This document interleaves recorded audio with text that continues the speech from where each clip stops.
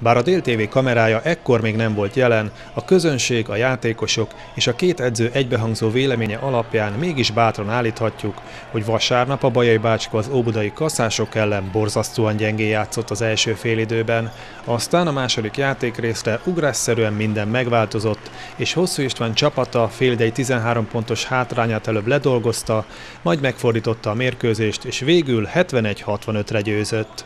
A helyzet az, hogy egy eh, elég rossz első félidő után, ahol azt hiszem mínusz 13-ban mentünk a, az öltözőbe, igyekeztük föltüzelni a fiúkat, és majdnem azt mondom, hogy, hogy lehet, hogy velünk edzőkkel szórakoztak, csak mert a második félidőben olyan csodálatos teljesítményt gyújtottak, hogy ugye hát a végén ugye 13 pont lett a, a különbség, ami azt bizonyítja, hogy a második félidőt meg tudták nyerni 25-tel, és a zóna védekezésünkben nagyon jól mozogtak. A fiúk lepattanokat szedtek, és a fiatalok is nagyon sokat hozzá tudtak tenni ehhez a mai játékhoz.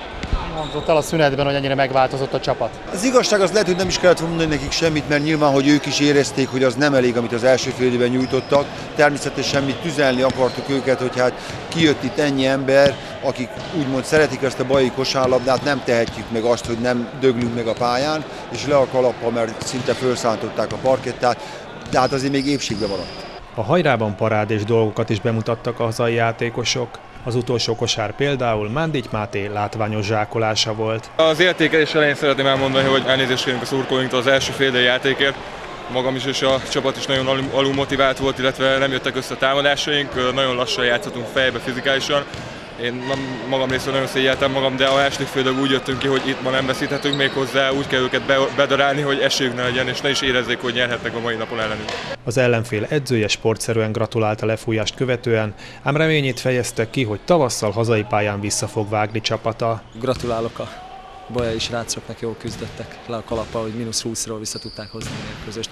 Reméljük a visszavágon, majd mi, dia, mi diadalmaskodunk, megpróbálunk visszavágni. Te is egy ilyen kasszásokat szeretnél látni mindig hazai pályán? Általában nálunk a küzdéssel, főleg hazai pályán nincs gond. Tehát én azt gondolom, hogy itt már rengeteg meccset nyertünk, bebizonyítottuk sokszor, hogy képesek vagyunk mínusz 20 pontról is fölállni.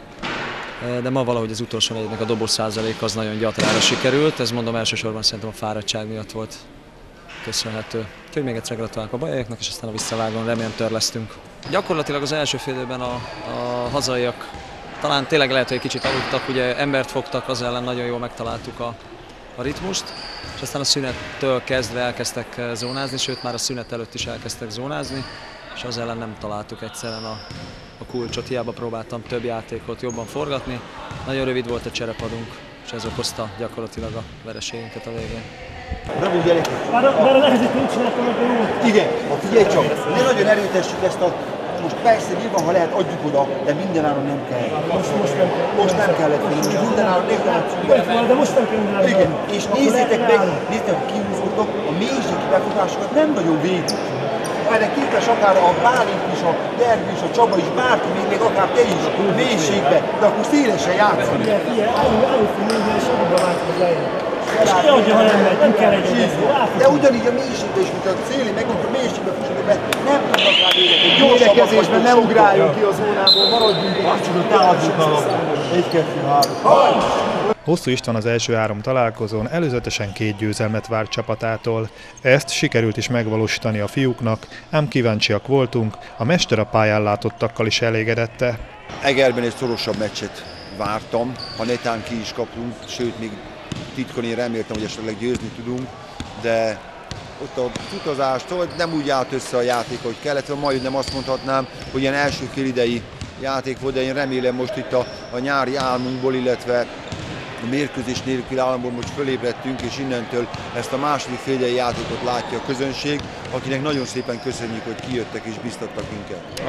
Az első három bajnok szerintem felemás volt, illetve ezen a meccsen mindenki rajzolódott, ami erényünk, illetve hátrányunk, sajnos Egerbe semmi nem jött össze. Hatalmas pofonba szaladtunk bele, de ez még egyszer nem fog előfordulni, illetve a mai első félidőt el kell, hogy felejtsük, és a másodikra kell épi, második félidőben mutatott játékra kell építkeznünk, és a továbbiakban nem engedhetjük meg magunknak, hogy így kezdjünk egy mérkőzést.